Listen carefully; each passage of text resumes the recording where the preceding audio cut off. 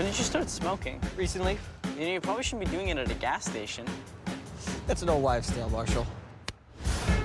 You just pretend like you fit in and you'll be fine. What kind of dragon do I have to slay to get a drink around these parts?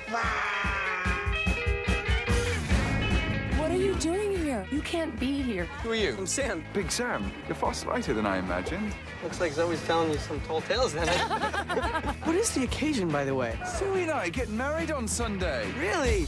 And it's my birthday. Have you got out of your mind? It's my sister's wedding, so if you guys need anything, coke, pills. Oh, actually, I could really use a ginger ale and like an aspirin. So.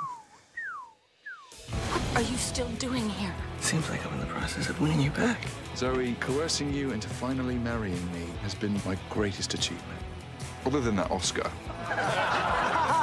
I can't believe you're actually considering this guy as a serious option for you. He's screening his movie at his wedding reception. What kind of man are we dealing with here? I am at war with this man right now, okay? Look at him. He's practically running scared. I'm a machine!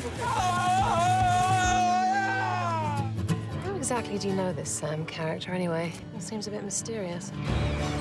She's saying she's thinking about calling off the whole freaking wedding. I'm not gonna be a supporting character in your pathetic little story. How come you I am in love with you, and you love me, and that's it. This is love. That's not love. How did you see this ending?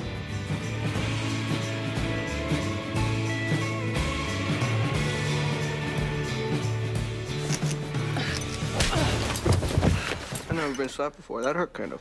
Oh, I'm sorry. I didn't mean to do it quite so hard. Oh, you did.